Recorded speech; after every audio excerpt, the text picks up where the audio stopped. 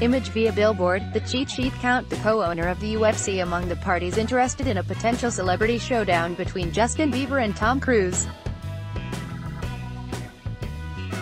According to a report from TMZ, Ari Emanuel, the co-CEO of William Morris Endeavor, is very interested in booking a fight between Bieber and Cruise.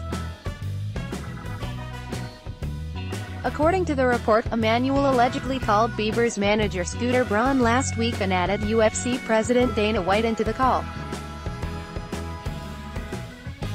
Emanuel reportedly told Bieber's camp that he believes Bieber vs. Cruise would be an epic fight that needed to happen, and TMZ reports that White agreed with him and is on board with the potential showdown.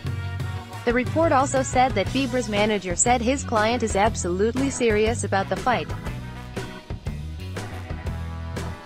According to the report, Emanuel believes Tom Cruise would take the fight. As ridiculous as it sounded when we first saw Bieber's tweet calling Cruise out, it looks as though there might actually be some legs behind this fight. Dana White has already gone on the record and said he would be foolish not to book this fight, which would probably deliver a massive gate and huge pay-per-view numbers despite the combat sports and experience of both Justin Bieber and Tom Cruise. Despite having zero fights combined, the fact is they are two of the most well-known celebrities in the world, and if they do end up fighting, it would get the whole world talking, for better or for worse.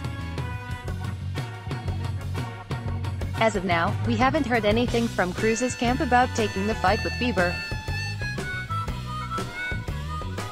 But we know Bieber wants it, and now we know the UFC's co-owner and its president want to see it too. As crazy as it sounds, we are at least one step closer now to Justin Bieber fighting Tom Cruise in the octagon.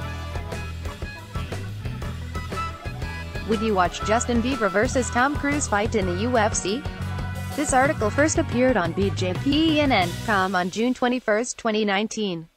Let's block ads.